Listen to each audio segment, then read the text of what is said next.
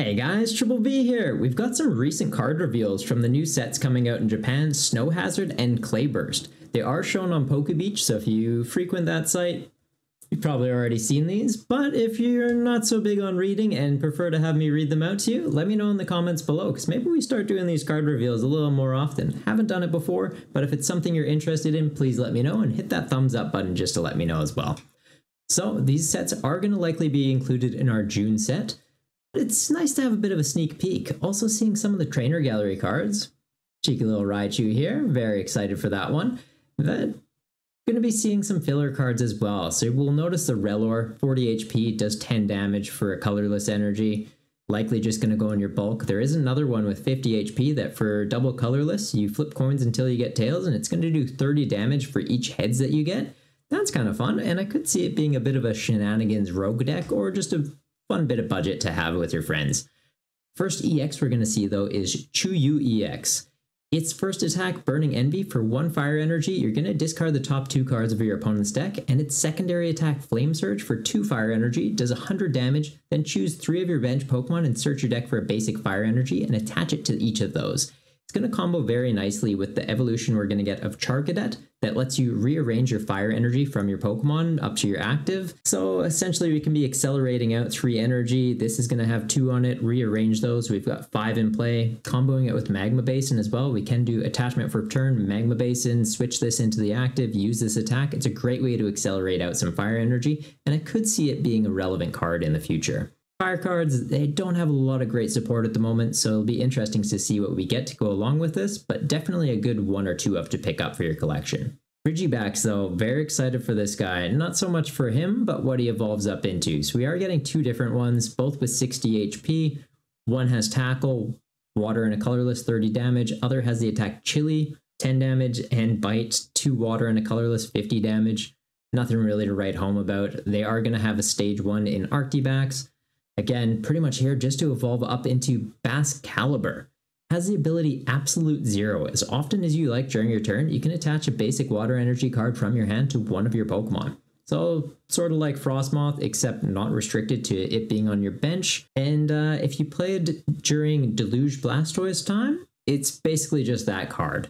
It's a solid guy to have, and it's going to combo very nicely with the other EX we're getting in this set, Chien-Pao EX. So it has the ability Trembling Cold. Once during your turn, if this is in your active spot, you can search your deck for two basic water energy, reveal them, and put them into your hand. It's a great way to get the energy into your hand to then accelerate out with Baxcalibur.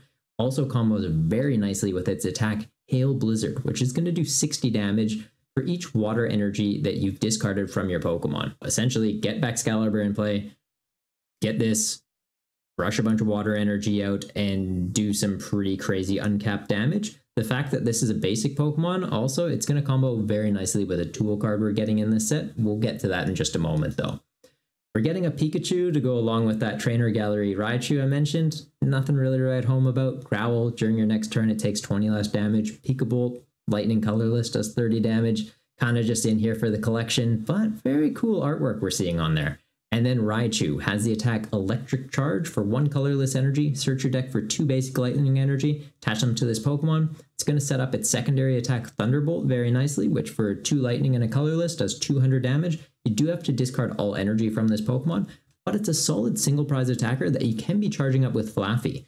200 damage too, it's pretty nice. You'll hit weakness into Lugia, which should still be seeing play in even post rotation. Seems to be single strike format. We're seeing it played in Japan so it could be a relevant guy to have around for one of your decks. We'll see what comes with it in the future though. Next up, we've got Rabsca. I hope I'm saying that right. So it's going to evolve from that Rellor we saw earlier. Has the attack Revival Blessing. Choose a Pokemon from your discard pile, put it onto your bench. It's pretty solid, especially the fact that it doesn't say basic. So you could be putting stage twos into your discard and then cheating them out with this. EXs, Vs, V stars, V maxes. I don't see any restrictions on here, so that would be a cheeky way to get some tech cards kind of onto your bench very quickly. Also has Psybeam, it's going to do 50 damage and confuse your opponent's Pokemon for 2 Psychic Energy. We're also going to get Nacli. It sort of looks like a little Goomba or a Toad Mushroom. Two copies of it in this set. One has Headbutt for a fighting energy, 20 damage. The other has Salt Cure. Heal 20 damage from one of your Pokemon and Tackle for 30 damage. Two fighting, nothing really write home about, but it is going to evolve up as well. So we get it into Naclstack, Salt Cannon, two fighting energy, flip three coins, 60 damage times the number ahead, so potentially 180. It's a fighting type, so you could be using Grant and scaling that up, but it's mostly here just to evolve up into Garganacl. Has the ability Bless Salt. During your Pokemon checkup, heal 20 damage from each of your Pokemon. Could see this being a relevant card in the future as well, because between turns healing, that's pretty nice. If your guys are taking some damage from maybe spread, could come up. Its attack Knock Hammer, it's going to do 130 damage. Discard a card from the top of your opponent's deck. A little bit of cheeky half hitting and some mill. It's pretty interesting concept there. Next EX we've got is Ting Lu EX. It has the ability Cursed Ground. If this Pokemon's in your active spot, your opponent's Pokemon with damage counters have no abilities. So sort of like that Klefki that we've seen, except uh, spread some damage around. Kind of reminds me of a Mimikyu we used to have in uh, past format, and very interesting, especially since it's on a basic Pokemon. If you combo this with something like Gapejaw Bog, when your opponent's benching guys, they're taking damage counters, all of a sudden they have no abilities, could really make decks like Lost Box struggle. And then its attack Land Scoop does 150 damage, put two damage counters on one of your opponent's bench Pokemon. So a great way to be like, hey, you know what? That guy's not damaged and he has an ability. Let's change that. He is damaged and now he doesn't. It's pretty cheeky. Next, we do have a Dunsparce in this. It's going to have the attack Find a Friend. You get to search your deck for a Pokemon, pop it into your hand, and then bite for 3 colorless energy. You can do 50 damage. We did get a new evolution in Scarlet and Violet, though, being Dudunsparce has Mud Slap, 30 damage. Also has Sudden Flash for 4 colorless energy, does 100 damage and paralyzes your opponent's active Pokemon. You do shuffle this back into your deck though, but kind of cheeky that you could just be essentially paralyzing locking guys. Interesting ways we could get this set up as well, since you do have Cherrim that can accelerate as many grass energy as you like to your non-Rule Box Pokemon. We could be running it with this, rush them out to it, bounce it back into the deck. All right, just find those grass energy again, reattach them, maybe combo it with Eldegoss, and just have a single prize deck that can be paralyzed locking. Interesting concept to play around with there for sure. We do also get Tandemaus, bit of a fan favorite Pokemon from the new games. Pretty cheeky, has collect, one colorless energy, draw two cards, three colorless energy, slap your opponent for 30 damage. Going to evolve up into Maushold. Oh, does actually look like we've got two Tandemaus in here, though. Sorry for skipping past that. This one just does 10 damage for one energy or 20 damage for two energy. Maushold, though, has the attack Slap. You're going to do 50 damage for two colorless or Gnaw Up, three colorless energy, then put damage counters on each of your opponent's Pokemon equal to the number of Maushold in play kind of interesting that it doesn't say your Maushold in play. I'm not sure if that's a translation error or not. So maybe if your opponent's running the same deck, you're putting eight damage counters on their guys, which if you've got 60 HP, there's six in play, they're all getting knocked out. That could be kind of funny. Could be an interesting spread concept there since it is damage counters and not damage. So you're not going to be blocking that with Manaphy, and Big Parasol will be rotating. So might be a deck concept there. Similarly, you could be charging this up with Cherrim or Flaaffy, like we talked about for the Dunsparce, so be interesting to see what people come up with that.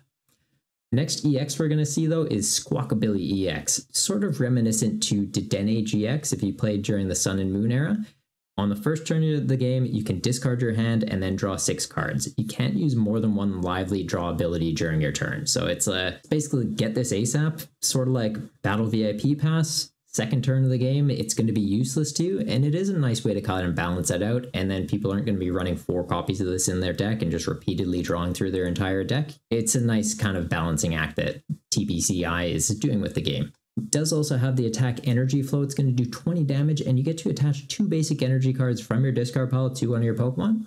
Kind of nice that it has a bit of a relevant attack accelerate some energy out. It'll definitely be a card that becomes a staple in a lot of decks, I feel like. Into the trainer cards, though, we are seeing a reprint of Super Rod, which lets you shuffle in any combination of Pokemon and basic energy cards from your discard pile back into your deck.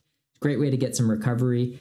Didn't seem like we really had a lot of recovery options at the moment, mainly just being Klara, and I think we're getting that new Nurse card in Scarlet and Violet that lets you shuffle five Pokemon back into your deck. So it is good that we're getting it in an item card as well, just to be able to balance things out. So if you lose your Pokemon early or your energy, there is a way to recover them.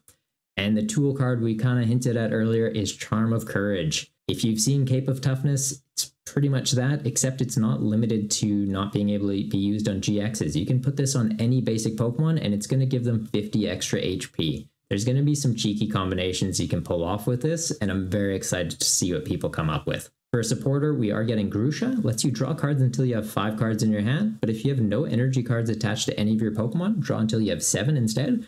Be interesting for control type decks that aren't typically attaching energy to anything, just to be able to let them get some draw power, or things where if you've got something knocked out, maybe you're just using this as a follow up.